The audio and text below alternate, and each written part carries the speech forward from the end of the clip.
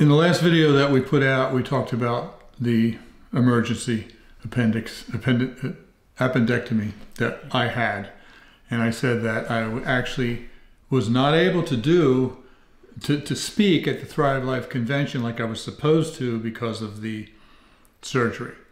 And several of you asked if you are going to get to hear the training that I did. Well, I didn't do the training. but at any rate, I did do something, and you're going to be able to hear at least a part of it.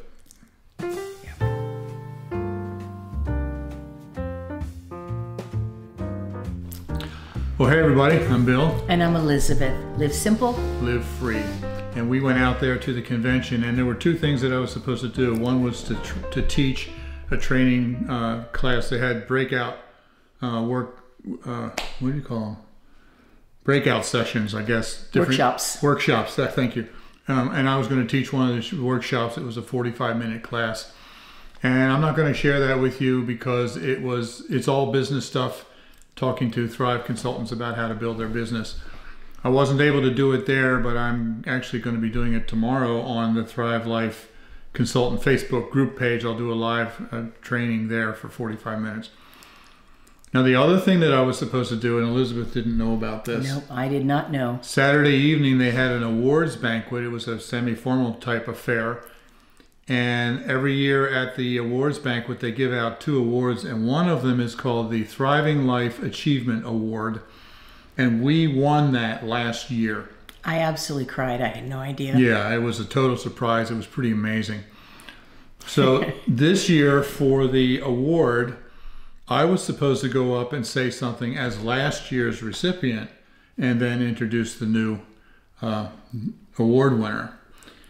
And it wasn't a big, long thing. It was just a little three minute speech, a motivational speech that I had worked on very hard to memorize, and I was really excited about it.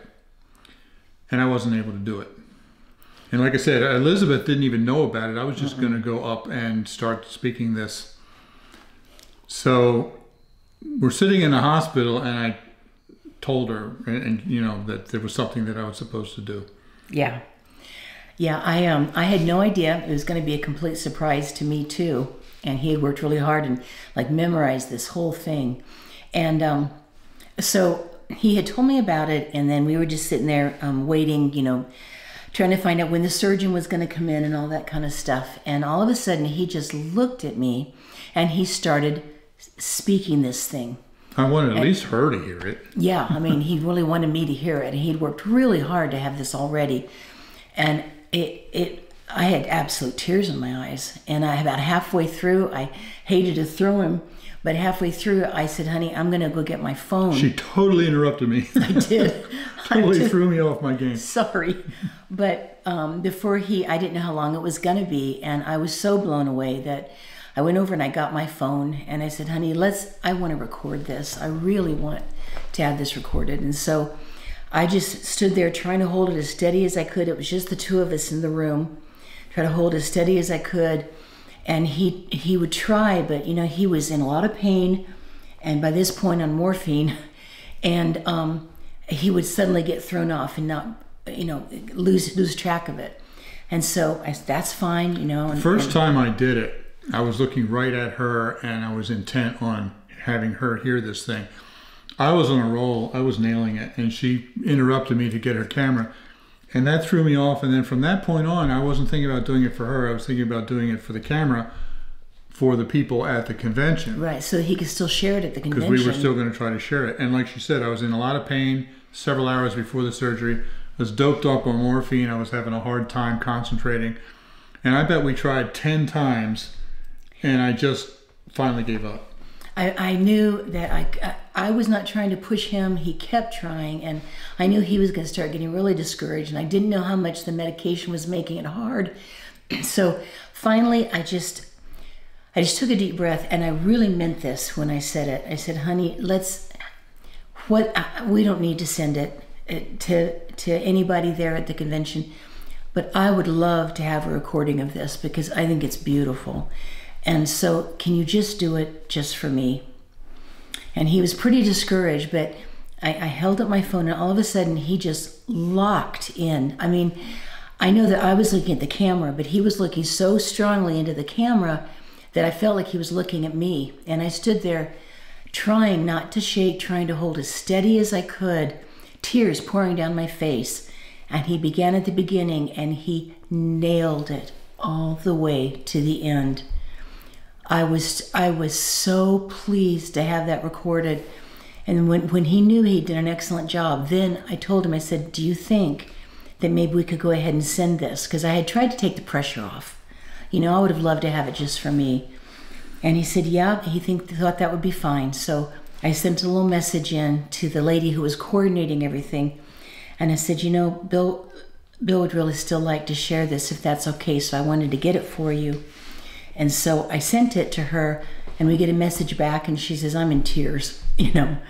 So anyway, I was so thrilled that we got this recording. I just, I, ju- I wanted him to be able to still share it. Yeah, so we'll show you that recording in a minute. But uh, so we sent it, and they showed it, and I didn't hear anything about the response. I just knew that they had shown it.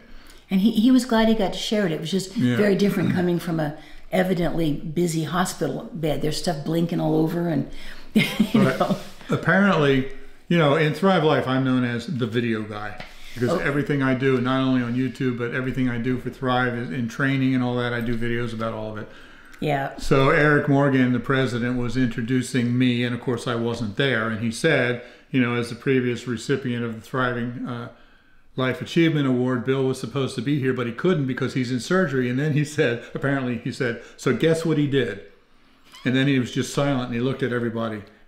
And all of a sudden, somebody dawned, it dawned on him, and they said, "He did a video." people got going. He did a video. so yes, I did a video. Yeah. So I'm going to go ahead now and show you that video done from the hospital bed full of morphine. If you want to have a successful Thrive Life business or be successful in anything in life, really, there are certain things you must do. Set goals, that's important. But once you set goals, you have to actually do something to achieve those goals. Success is in the doing. And so I want to talk about radical doing today. You see, in any instance, the thing that keeps you from achieving something, anything really, is your unwillingness to do things. Getting started, taking action, ditching bad habits, moving beyond your comfort zone. You must become someone previously unknown to you, someone who, well, let's call that person a tyrant of radical action, of radical doing. You are now a strong, determined, talented individual who will not stop at mere exhaustion or setback of goals and agenda. Someone who laughs at physical pain and lets emotional stress roll off your brow like sweat. You no longer will you contemplate your future like some privileged academic sitting in a classroom of spectators. No, yours is a world of reality and action where the, the doing is done by your own hands and feet and blood and sweat towards a goal that is as alive as the heart that beats in your chest and pounds like a drum toward the reward that you have earned fair and square. And by the grace of God, you will take that path and find solace in the taste of freedom that comes from a job well done, a mission accomplished, a mountain climbed. After all, you did it. And that, my friends, is the power of radical doing. I think you can understand um, why that just it touched me so much. I was really proud of him. It was a message, a, a motivational message that I really wanted to get out, and I'm so glad that I was actually able to do that. Yep. So we sent it off, and we knew that they watched it, but we didn't have any idea of what kind of reaction there was. And uh, we talked to Sandy, the woman that we sent it to, and you know, was it shown? Yes, it was shown. It was really good. Okay, so what does that mean? Well, I mean, Well, apparently there were there were not many dry eyes in the house.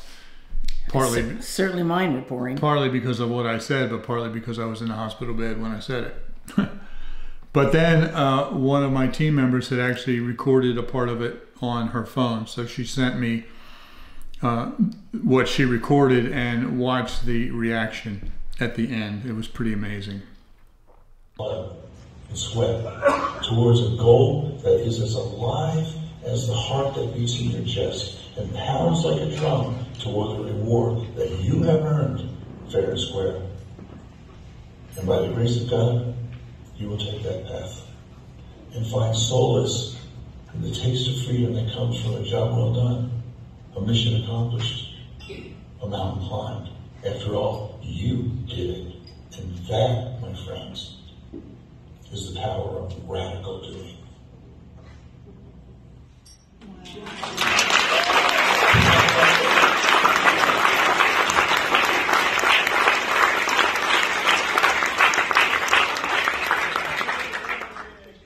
Makes you think the Bill should get sick a little more often.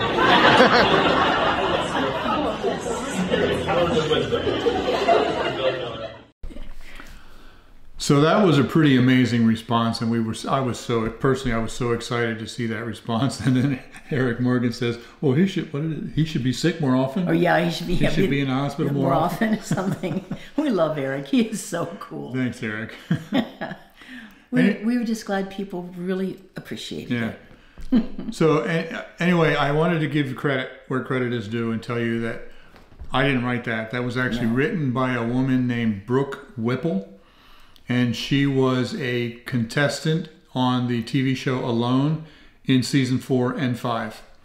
And she has an Instagram account that I'm that I follow, and she on Instagram she is uh, Girl in the Woods, and she actually did it, and she said that she did it on her Instagram, and she said that that is a a portion of a book that she's in the process of writing. And I was so impressed with it. I listened to it a dozen times before I realized, hey, I need to do this. So I, you know, listened to one line and wrote it down. Listened to the next line, wrote, wrote it down, and then I modified it a little bit just to make it more appropriate for Thrive Life. But it was hers, Brooke Whipple. Yes. So I want to be sure to completely give her credit for that. Yeah. He, especially at the beginning, he added a little bit to make it make sense, but Yeah, it, I- it I- was her thing. I added like four lines before what she wrote, and then I added just a word here and there. But it's her thing, and I, yes. it just touched me, and it apparently really touched everybody at the company as well. Yeah, I found it to be wonderful. We really want to give her credit. That is, it's really quite wonderful. So I wasn't able to give my training there, but I will be giving it on Facebook Live uh, tomorrow, and uh, I was able to do my motivational bit, and I'm so happy about that because I was very excited about it. Yeah. So that's about it. Yeah. I'm. Um, I wanted you guys to get to see that, and I want you to know I. It was. I, I- was working so hard to not let my hands tremble. My arms got so tired, but boy, I held that phone because I just had tears pouring down my face watching him do that, and I was just so grateful we got it. Hmm. Thanks for hanging in there, hun. Absolutely. So, So thanks for watching. live simple. Live free. Does coughing still hurt? No, Wow, that's excellent. I just coughed. It doesn't hurt my belly. That's excellent. Anyway, you be blessed because we certainly are, and we yeah. wish that for you as well. Absolutely. All right, we love you guys. We'll see you soon. Boy, that was better than the first time. Should have seen the first time he coughed after he had the surgery. oh, All right. goodness. Bye. we love you guys. bye bye. The taste of freedom that comes from a job well done, a mission accomplished, a mountain climbed. After all, you did it. And that, my friends, is the power of radical